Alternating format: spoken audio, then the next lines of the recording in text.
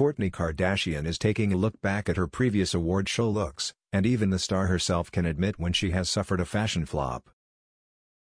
The mom of four, 45, poked fun at her 2009 Emmy Award show outfit during the recent July 4 episode of The Kardashians on Hulu. Kourtney began her walk down memory lane as she was getting dressed for this year's Emmy Awards, which she attended with her husband, Blink-182 drummer Travis Barker. I went to the Emmys 15 years ago, and the look was very different, Kourtney recalled during the episode. I just wore this random gray, I don't even know the designer, I don't even know where I got it or how I even got dressed, she joked. The outfit she was referencing from 2009 was a long, strapless, gray chiffon dress, which ruching near the bust. At the time, the Lemme founder was pregnant with her first child, son Mason, who is now 14. She wore her hair in long, loose curls and accessorized with a chunky, silver-embellished bangle. During the episode, Kourtney pulled up a photo from the 2009 red carpet, where she was posing next to sister Kim. She decided to give Kim a ring on FaceTime, as they joked about their fashion choices at the time.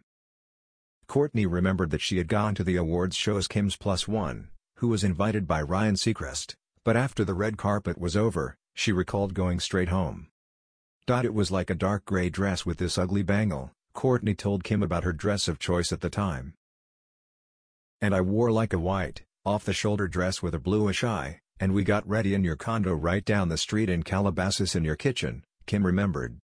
Now, things looked drastically different for the stars, as Kourtney was getting ready to head to, to the 2024 Emmy Awards, where her husband would be performing for the star-studded audience. This year, she didn't go with a gray dress, but instead a chic black pantsuit with satin detailing.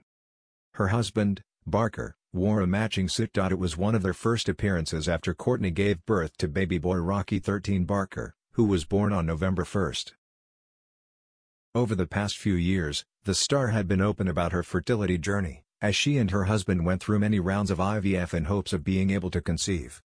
We stopped doing IVF probably two months before our wedding and so it took a year for all those hormones and chemicals to get out of my system, Kourtney revealed on last season of The Kardashians, Brynn Style.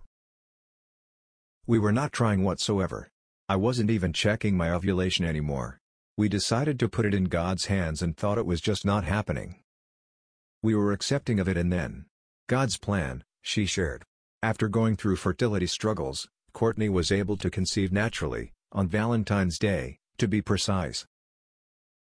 But her pregnancy was not necessarily an easy one, as she had to undergo emergency fetal surgery in her third trimester, as they found fluid in Rocky's lungs.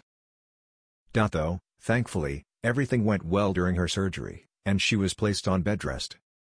She spoke about the experience during this season of their reality show. Dot it's super rare, that this, is, the condition that he had but it's also super rare and lucky that we caught it, Kourtney shared.